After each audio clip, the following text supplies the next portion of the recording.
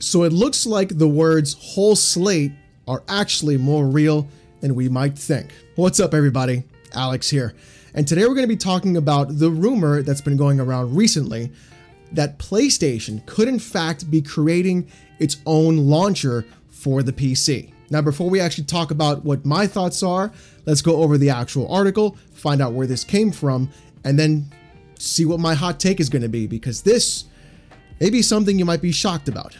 Now, according to VGC, the article reads that references to a PlayStation PC launcher have been found within the files of Marvel's Spider Man Remastered, which launched on PC last week, suggesting that such a platform could be in Sony's future plans. Now, VGC has verified the files and seen the reference to the PlayStation PC launcher. Now, this is honestly something I was kind of expecting already.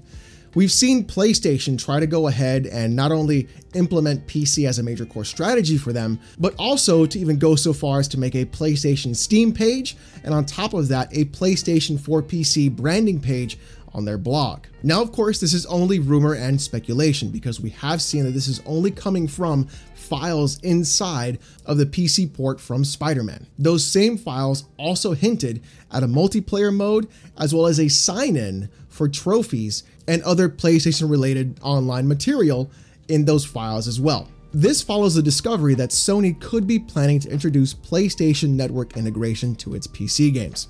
While neither Marvel Spider-Man nor any other PlayStation PC Studios game currently allows connectivity with PSN accounts, Spider-Man files contain multiple references to PSN account linked and PSN linking entitlements. Thus far, all of Sony's PC games have been released on Steam and the Epic Game Store.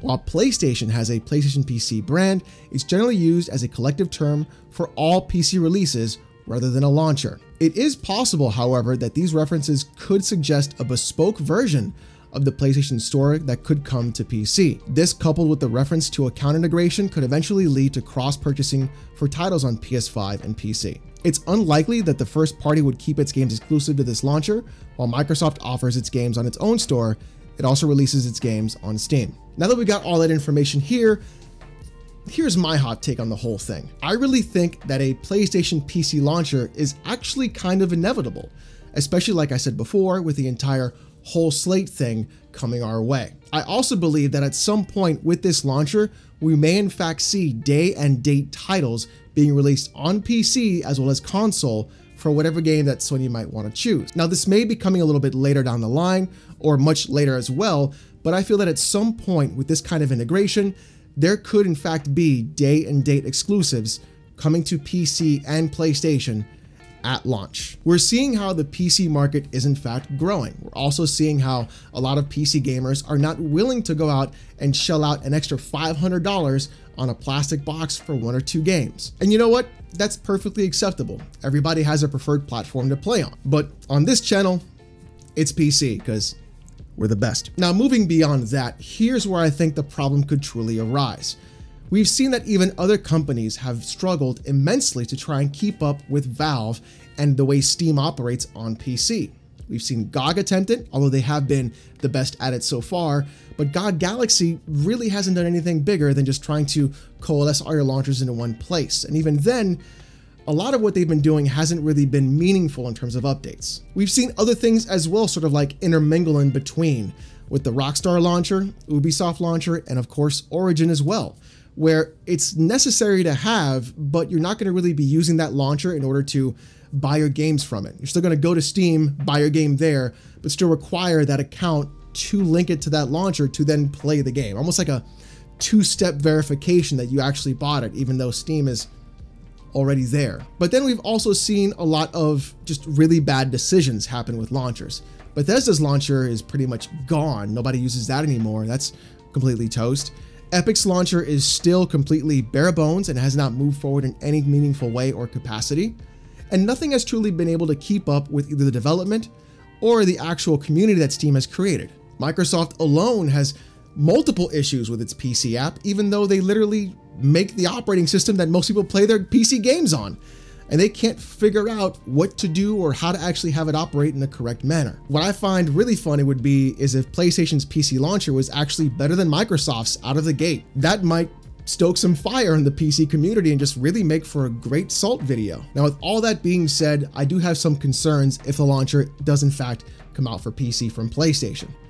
My first thing is they may even try to actually make $70 video games a somewhat viable option on PC, either by offering it day one on that launcher specifically and then having a time gated window to launch on Steam for 60, or just the fact that they're going to bring $70 games to PC in the first place. Look, we don't want that here. With that being said, however, they could also in fact just try to lock off all their exclusive games to only be working on that launcher specifically. And on an open platform, that doesn't make any sense. And that's really why a lot of people have a problem with the fact that the Epic Game Store is in fact locking games behind their horrible launcher in the first place in order to just try and facilitate and funnel people down into using that launcher, even though we all know it's just nothing more than a Fortnite machine. So yeah, there could be quite a few bad things that do come along with this, and we don't really know all the details just yet. But there could also be some good, and this is what I would think would be the best course of action for the PC if PlayStation does want to have PC integration. Sony, if you're taking notes, please listen. Have the launcher on PC. Some people may just want that specifically for Sony games, and that's perfectly fine. But don't bring $70 video games to the PC market.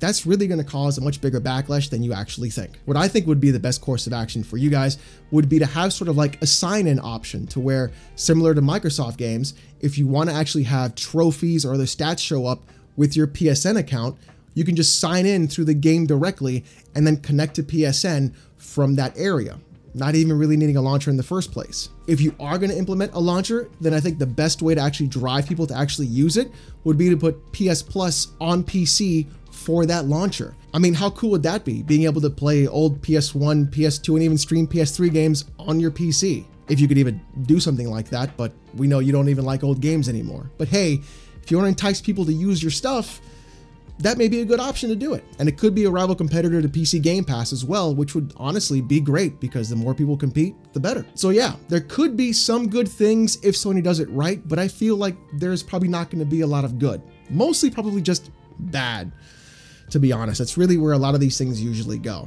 They never compete with Valve or Steam, they never really take care of their launchers, and then all the features that we look for are just either never developed or just broken across the board. But let me know what you guys think in the comment section down below. Would you guys like a Sony PlayStation launcher? Would you be okay with just the sign in? What do you guys think? I'd love to find out and see what you guys say in the comment section. Now, if you want to see more of the channel, you can subscribe. We're getting close to 30,000 subs. So I want to say thank you guys very much for watching the video and enjoying the content as well. We are going to be doing more fanboy content. We've got emulation content for the Steam Deck as well, emulation content for your PC, more news, and of course, live streams where we do it every Saturday. So if you're looking for that kind of content, this is the place to be. Now, if you want to see more of what I have to say, check me out on Twitter. It is at Oh No It's Alex. If you want access to the Discord, just go ahead and become a YouTube member, a Twitch sub, or a Patreon supporter, and you'll get access that way. If you don't get access immediately, just message me on that platform and I'll get you guys taken care of. Thank you guys so much for watching. Hope you have a great one, and I'll see you next time.